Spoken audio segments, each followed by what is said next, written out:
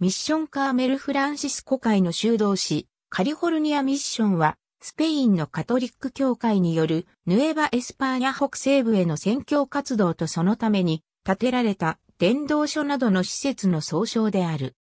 1769年から1823年までに21カ所の伝道所と多くの補助的な建築物、軍の前哨基地などが各地に作られ、先住民族に対する宣教を行った。宣教師たちの中でも、フニペロセラの実績が数的に際立っているが、宣教の方法に問題があったために批判を受けている。伝道所はスペインによる太平洋岸エリアへの侵略を推し進める重要な拠点としても機能し、ヨーロッパからは多くの家畜、穀物、果物、野菜、文化、そして産業がもたらされた。その反面、戦闘や伝染病などによって先住民族は激減した。10カ所の伝道所が建てられた時点で建築がストップしかけたが、各伝道所の距離が離れていることを修道士、フェルミン・ルスエンが主張したために、さらなる建築が進められた。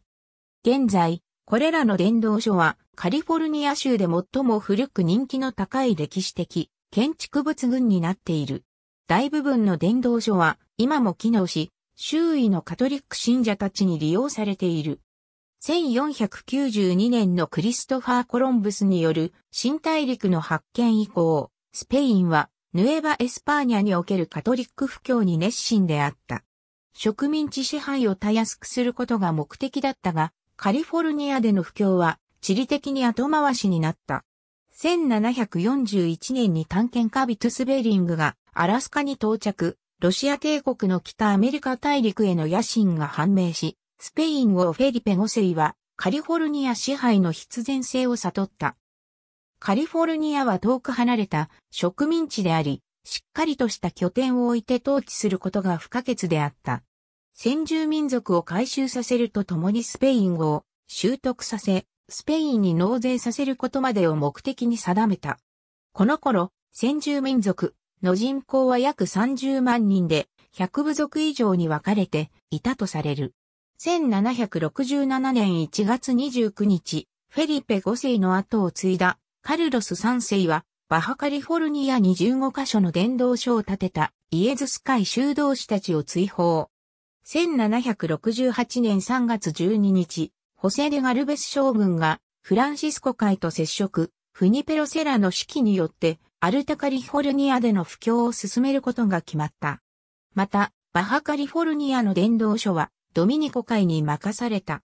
アルタカリフォルニアにおける初期の洗礼の様子1769年7月14日、伝道所の建築のため、フニペロセラはサンディエゴへ、バハカリフォルニアの総督がスパルデポルトラはモントレーに向かう。カリフォルニアにおける最初の伝道所ミッション、サンディエゴであるからが建築された。1769年7月22日、モントレーへの道中、先住民族の村を通過する際に、修道士、フランシスコ・ゴメスとフアン・クレスピが二人の死にかけた少女を見つけ、カリフォルニアで記録の残る限り初めての洗礼を行った。1771年末、ポルトラがサンフランシスコ湾を探検し、1774年から1791年には、もっと大規模なスペイン軍によって太平洋岸北西部の調査が行われた。各伝道所の運営は教区司祭に引き継がれ、また周辺の管轄地は整備50年以内に住民たちに分配された。これらの手法はメキシコやペルーなどの植民地における経験に基づいていた。この頃の各伝道所は自給自足ができる状態ではなく、メキシコのカトリック教徒たちから集められた寄付による援助を受けていたが、それも1810年のメキシコ独立革命によって得られなくなってしまった。1800年頃にはミッションインディアンが労働力の中心となっていた。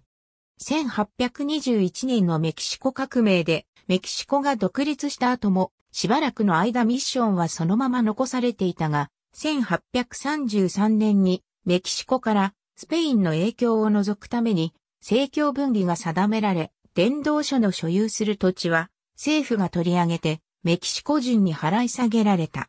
これによってミッション時代は終わりを告げた。伝道書そのものも多くは打ち捨てられて一旦廃墟になったが、19世紀後半から復興が進められた。陸上移動の都合を考慮し、各伝道所は約 48km 離れた位置に建築された。これは当時の馬が1日に走ることのできた距離であり、徒歩だと3日間を要する。最も離れた電動所間の距離は 966km で、それぞれが王の道と呼ばれる粗末な道路で繋がれていた。修道士たちは伝統に従ってマスタードの種を道端に撒いたため、黄色い花で彩られていたと言われる。北から南へ、所在地に従った羅列。建築順での羅列。ありがとうございます。